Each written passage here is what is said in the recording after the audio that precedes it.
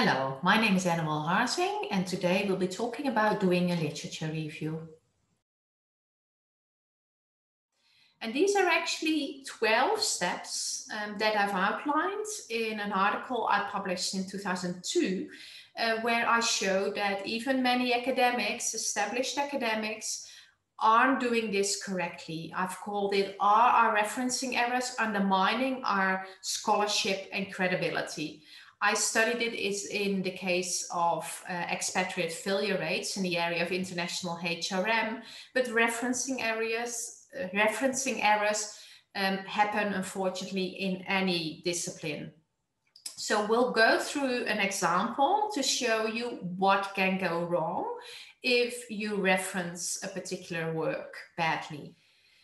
So let's assume that we have an article that's uh, published by a particular Mr. or Mrs. Smith or Professor Smith um, in the Academy of Management Journal, and that contains the following statements. Studies have shown that two thirds of the international mergers and acquisitions fail, with three references following the statement. That's quite common. Um, it's often three references, um, and we've talked about this in how many references are enough. Um, so there's nothing uh, wrong with this particular statement. But now um, you are going to use this in your own study. You are going to use this information in your own study.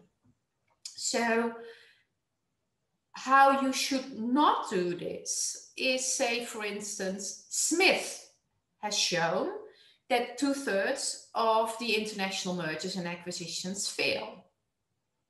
Why not? Because Smith hasn't actually done this. Smith hasn't actually done a study that showed this. Smith had just referred to three other authors that have, have done studies on this. What you also cannot do, and this might be very, very tempting, and I know that lots of people do this, uh, but it's still not good practice. What you also shouldn't do is say two thirds of the international mergers and acquisitions fail and put the references in. So, literally, um, using the same statement as Smith has done. First of all, if you use the exact same statement, that's plagiarism. But even if you reformulate it a little and then use the same references, that's still not all right. Unless you've gone back to all three references yourself and verified that this information is actually in these articles. Because otherwise, you're relying completely on Smith to establish that this information is actually correct. And you don't know whether Smith has actually looked at all of these references herself or himself. So, as I said before, um, you shouldn't use secondhand references. So, use the references that someone else has found. But there might be other things that can go wrong with this. Let's assume this is a 2005 article, as I said, and you're using it in your thesis in 2020. Then are references in 1982 and 1990 still relevant? They might already have been a bit old in 2005, but in 2020, they are really old. So can we still be sure that two thirds of international mergers and acquisitions fail in 2020. Maybe they're far less, or maybe they're more, but um, you don't know until you look at more recent evidence. Then, are these for these three references actually reliable sources? Remember, we went through these seven steps, and reliability was an important one of them. Are these reliable sources? They are probably reliable sources if they come from other academic journals. But in some cases, you might find that the reference actually refers to a magazine article um, or even a newspaper article, which we wouldn't consider reliable enough to use in academic writing. Then are these references actually generalizable? Is the scope significant enough? And we've talked about this in the seven steps as well, scope.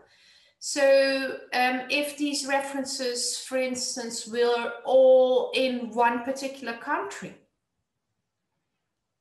if all of these references only looked at, for instance, um, US multinational corporations or British multinational corporations or um, Tanzanian multinational corporations or Chinese multinational corporations. It doesn't matter what country it is, but if they only looked at multinational corporations from one particular country, you don't know whether this is valid for multinational corporations all over the world.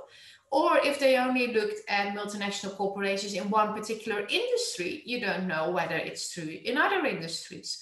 Or if they only looked at multinational corporations operating in one particular host country, you don't know whether it's relevant in other host countries. So the scope of the reference also needs to be sufficient to be able to draw a generalized conclusion. Then also be aware that if people are using these second-hand references, then the next person might maybe remove one of the references and put one instead, or might remove all of the references, and I might simply say two thirds of the multinational corporations, uh, sorry, two thirds of the mergers and acquisitions fail and leave out the international. So you've suddenly changed it from international mergers and acquisitions to all mergers and acquisitions, even if they happen within the same country. It's an easy mistake to make, but it completely changes um, the statement you make. And then finally, what can also go wrong, and that might be going wrong in the very first step, is being too impressed by top journals. The Academy of Management Journal is one of the top three journals in the field of management. So we would normally expect that articles that are published in these journals are top quality articles. That's generally the case, absolutely, but it doesn't mean that every single reference in that article is necessarily top notch even publications in top journals might occasionally include things that are not quite as they should be. So don't think just because an article has been published in a top journal that every single word in that article can be relied upon. I'm not saying that you can't rely on the article as a whole, but don't just assume that every single reference is okay because the article might well contain 200 references and you don't know whether the author has checked every single reference themselves, even though we all know we should.